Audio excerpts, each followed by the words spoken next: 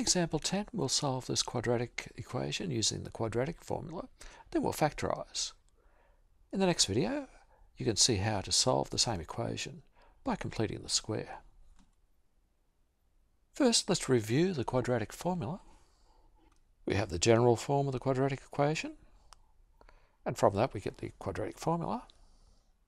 We have our two possible solutions, x1 and x2, equal to minus b, plus or minus the square root of b squared minus 4ac on 2a. The two solutions come from the plus or minus. There are two conditions necessary to use this formula.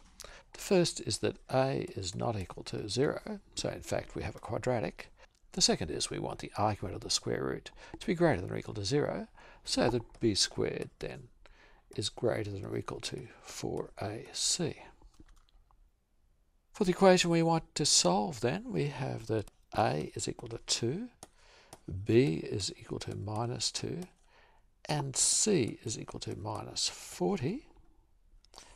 b squared is equal to minus 2 squared, 4. 4ac is equal to 4 times 2 times minus 40, so that's minus 320. a is not equal to 0, b squared is greater than 4ac, so 4 is greater than minus 320, so both our conditions are met. What we can do now is to plug these values into our formula.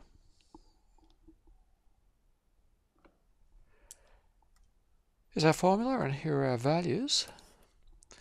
Let's just substitute them in. So we'll have minus minus 2 plus or minus the square root of b squared, which is minus 2 squared, so it'll be 4 minus, well we saw 4ac was minus 320, so it'll be minus minus 320 on 2 times 2, that's equal to 4 plus or minus the square root of 324.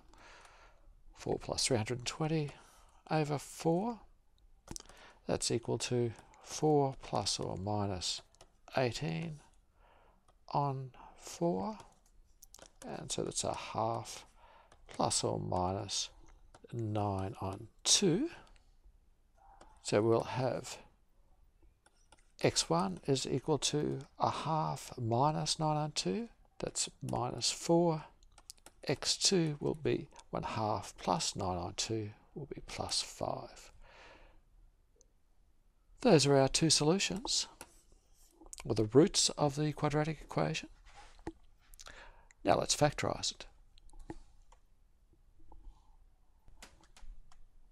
Remember for our general form of the quadratic equation and roots x1 and x2, the factorised form will be a times x minus x1 times x minus x2 is equal to 0. We had uh, x1 is equal to minus 4, x2 is equal to plus 5, and a is equal to 2. So we'll have 2 times x minus minus 4 times x minus 5 is equal to 0. That is 2 times x plus 4 times x minus 5 is equal to 0.